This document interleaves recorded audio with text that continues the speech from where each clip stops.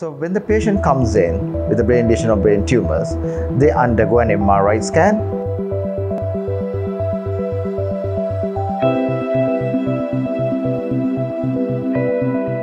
Welcome again to Next Gen Neurosurgery channel and uh, my name is Dr. Anil Weerasinghe.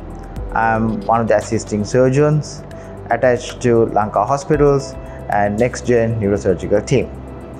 Today I would like to talk, take some few minutes and explain to you our approach of for brain lesions or brain tumors.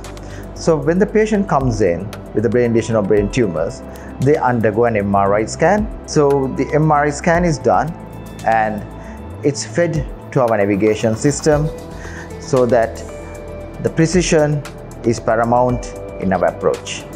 So what we do is with the neuro navigation aid, once we go into the brain, we make sure that we remove the whole lesion and with accuracy and with all the clearance margins.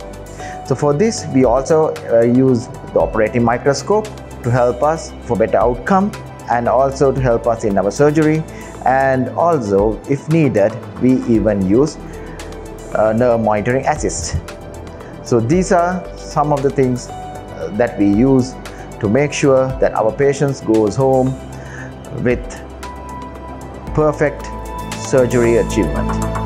Thank you